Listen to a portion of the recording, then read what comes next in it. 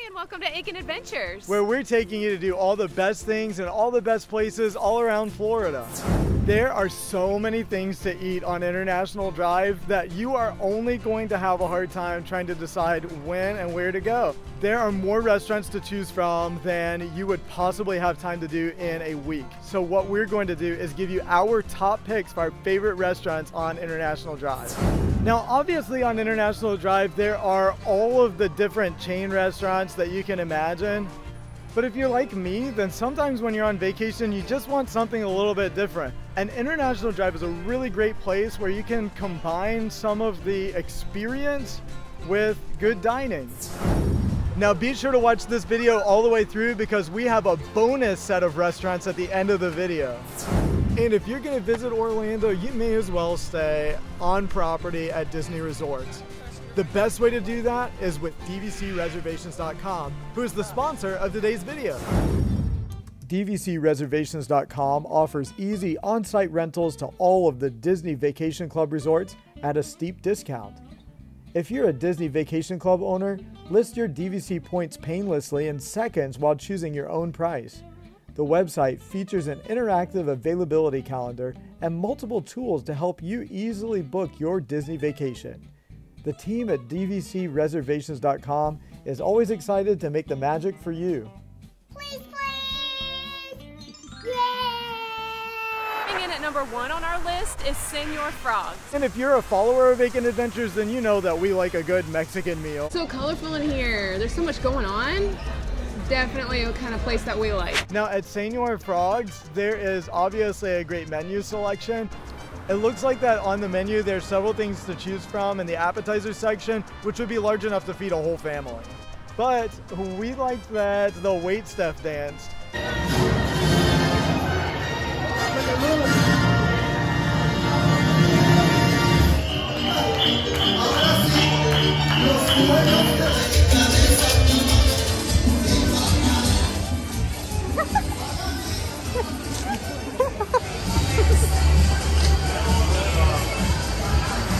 Coming in at number two on the list is Oreganadas.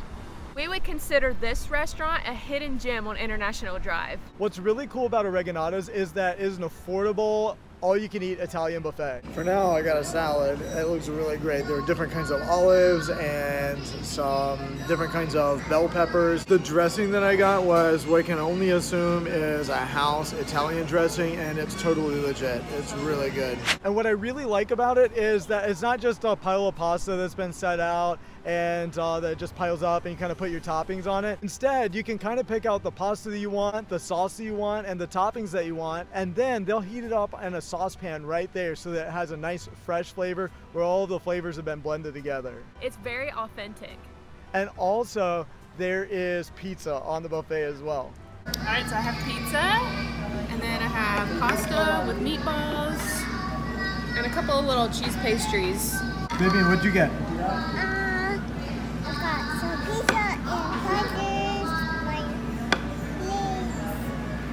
Next up, we have another really great pick. At number three, it is Hash House A Go Go. This is home cooking, but with a modern twist. One of the things that we find to be kind of difficult to find in Florida is um, like a home cooked, home style meal. Yeah, like a meat and sides kind of place. Menu is pretty much like breakfast brunch, so hashes and egg scrambles and some sandwiches, things like that, breakfast type items. And then they also have like main meals, um, like pot roast, skillets, salmon, things like that. Price range looks to be about between 15 and $20, which is average for um, International Drive. So it sounds like that they're best known for their chicken and waffles, but we're looking for something a little bit lighter than that, so that's not what we're having today. But if you like chicken and waffles, apparently this is the place to come.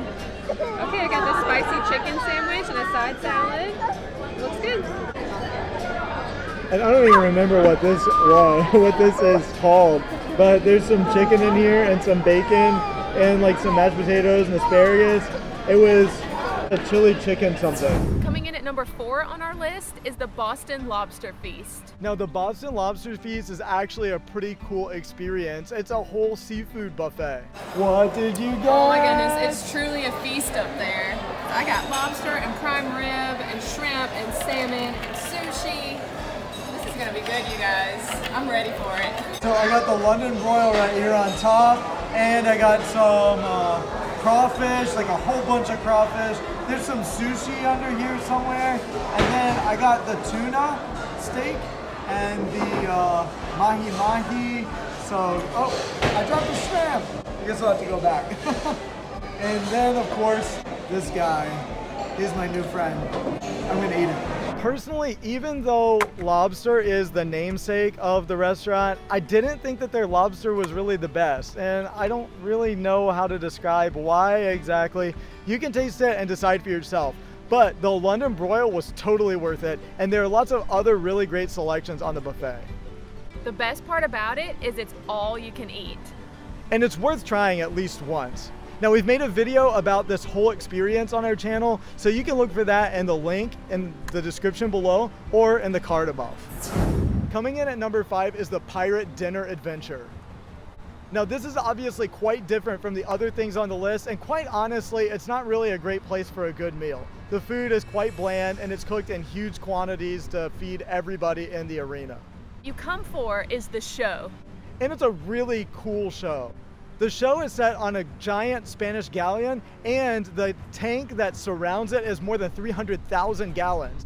There are acrobatics, and there's a whole storyline and plot that unfolds before your eyes. Every section of the arena is divided into a team, and you get to shout when it's your turn for your team to get the victory. The climax of the show is when Leviathan springs to life and all the pirates have to fight him. We watched this show more than a year ago, and Vivian still remembers it, even though she's three years old. She was only two at the time. She loved it. On International Drive is really kind of a cool thing, and it's sort of a surprise.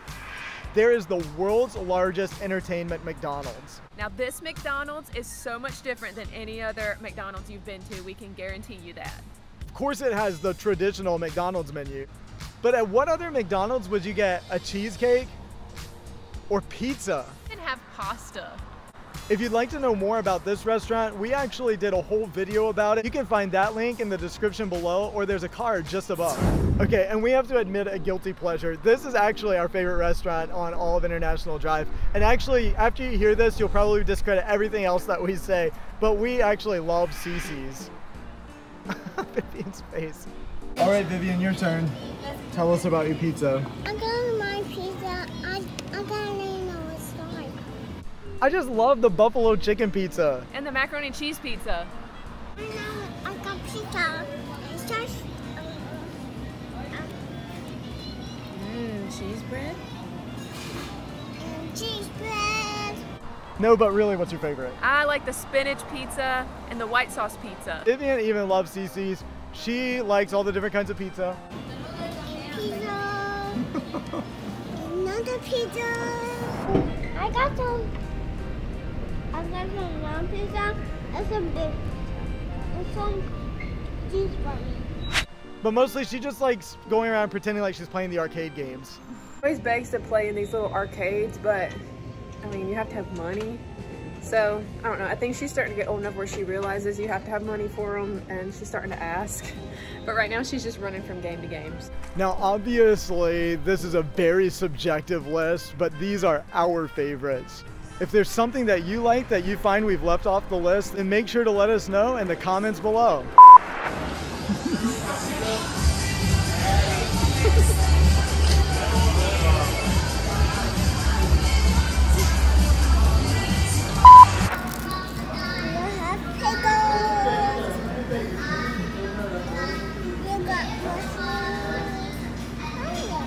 You can't have my food, you gotta eat your own. Can you do it? What's that? The paper. You want to cut the paper? Ah, don't get my ears. No, no. Ah. Oh, that actually kind of hurt. I'm going to get your nose. Oh, Vivian. What you got, Viv? I got some brownies and some rubbers. And some pizzas. Is it tasty? What you got? Okay. Hi, this is Anthony and Elena. If you've enjoyed this video, then we invite you to like, subscribe, and hit the bell notification icon as you follow us for all of our adventures around Florida.